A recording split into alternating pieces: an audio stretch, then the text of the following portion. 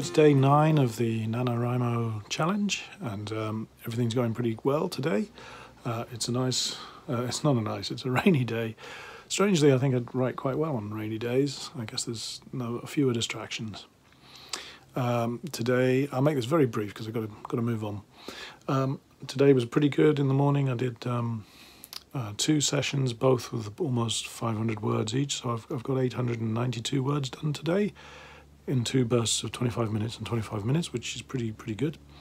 Of course, in order to write in those 25 minutes, I've got to get my head in the right space, so it sometimes takes 15 to 20 minutes to before I'd start the clock. But um, anyway, so uh, I've got my stuff written, and um, I'm just finished my lunch and um, heading off to work. Uh, so it's a good feeling to have all the all the stuff done in the morning. Anyway, didn't want to talk about that. The writing is going well.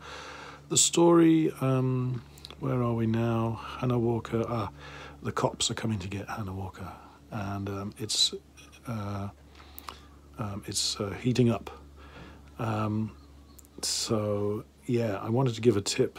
I guess my tip is maybe obvious if you if you if you've done this before, but writing a novel, um, they talk about like a, the, the structure has to be triangular, um, something like that. I don't know. It gets very complicated, but um, the idea is that uh, it has rising tension. In other words, the drama and the most dramatic, or if you think about it, all the, the conflicts become more and more dramatic as the novel goes on. I'm now up to 32,000 and something words uh, of a 50,000 word novel, so I'm over the halfway mark, way over the halfway mark.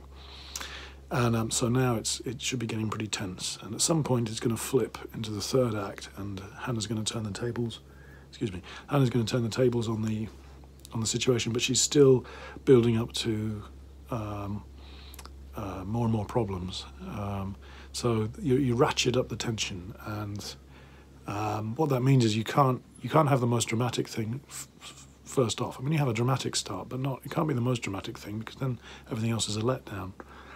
If this is complicated to think about, it, it's, it's really not that complicated, um, just the way I'm explaining it. Just think of it like a play or a show.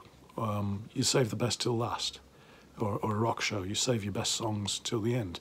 They don't, you know, the Stones don't come out and well, actually they do come out and play Satisfaction, but they hold on to Satisfaction until the end, and then that's their encore. You know, it's the same with writing. You know, save your your big numbers for the end. Anyway, the big numbers are starting to come now, so the tension has to rise. So the cops are after Hanna. She's on the run, and that's kind of fun to write. And I think that's maybe why I'm writing more and more quickly. Right. Um, tip of the day is uh, to listen to some podcasts. There's a lot of writing podcasts out there. I, I could give a whole bunch. I mean, I've already mentioned um, Paul Teague's um, uh, self publishing journeys. That's great. But uh, the other standard is probably Joanna Penn's uh, creative Penn, the creative Penn, Joanna Penn, P E N N. That's probably the main writers and self publishers podcast. She's British. There are a number of American podcasts, and I could, they are pretty good.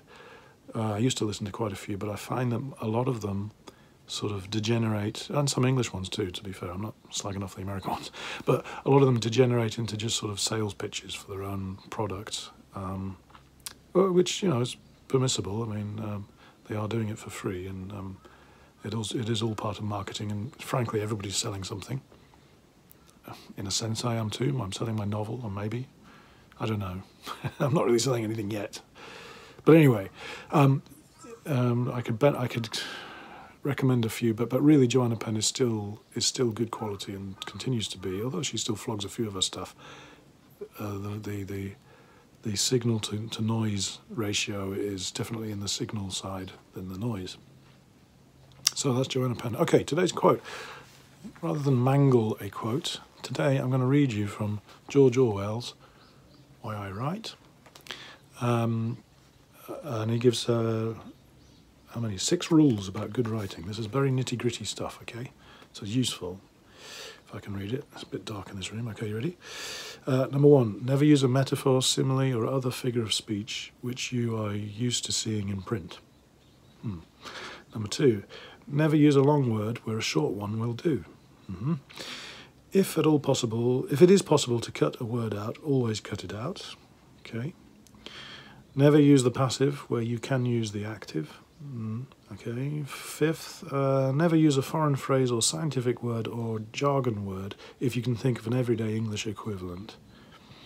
And finally, number six, break any of these rules uh, sooner than say anything outright barbarous.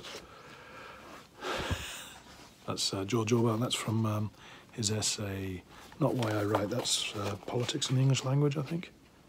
Hold on, just flipping forward. Oh no, well, I've lost it. Anyway, I think Politics in the English Language. Right. Definitely, that's it. Um, good luck with your writing. Um, good luck with the weekend. And um, I'll talk to you tomorrow.